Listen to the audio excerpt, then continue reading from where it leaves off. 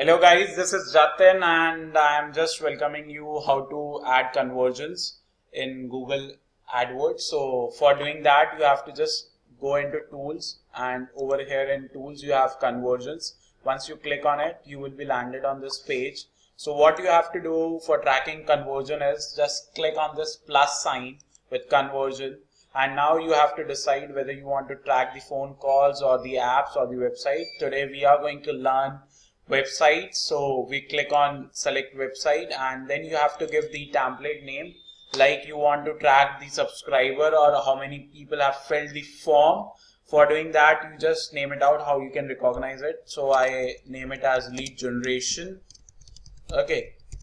And then in the next one you have to click on done. Then next value does it has any value for you?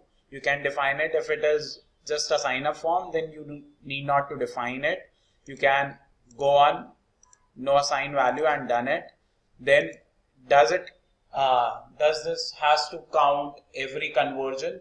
Like for example if you read the example if somebody click on the ad and make three purchases then it will be counted as three conversion. If you select one then if he still buys the three products it will be counted as one conversion. So you have to decide whether you want this or this option. It depends upon like for sign up thing we want uh, that if somebody is signing up multiple times even that it should be counted as only one conversion because there is no meaning to count it again. Then click on done. And this is the next thing that is window conversion. How long? Suppose let the person click on it and go on your website and then buy the product at that time and next day he open your website and then buy the product. And if he buy the product within 30 days then it will be counted as a conversion. That person will be counted as a conversion because of such. So that is conversion window. View through conversion window is how much available he is in those days.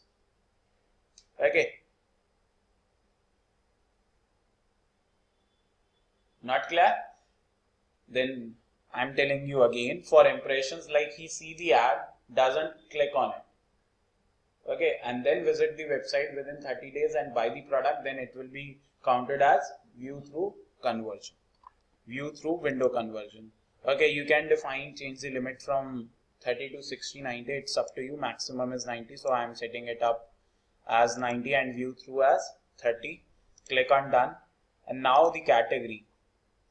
In which category this type of conversion is whether it's a sale or purchase is sign up or lead it's it depends upon you. As we are doing it for sign up we I define it as sign up then click on done include conversion then go on save and continue. Once you click on save and continue it will generate a code for you.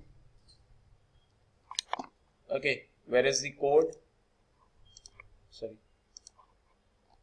It, the code is just here okay just below it you have to just copy this code and go into your WordPress account where you are just tracking it up. So let me go into some test account.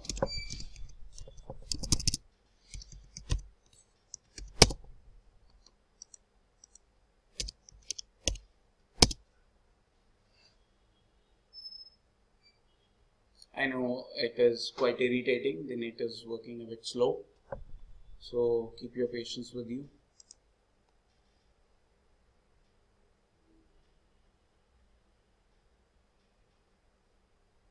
Once you log in in your WordPress account, if it is a WordPress site, then you can use WordPress. Otherwise, you can directly copy this code and paste it in the head part of your website. If it is a WordPress one, then what you have to do is you have to just go down and you will find setting button and I have installed one plugin that is known as header and footer. You have to click on it. Copy this header and footer plugin and it should be pasted out everywhere. So you can select it and paste it everywhere.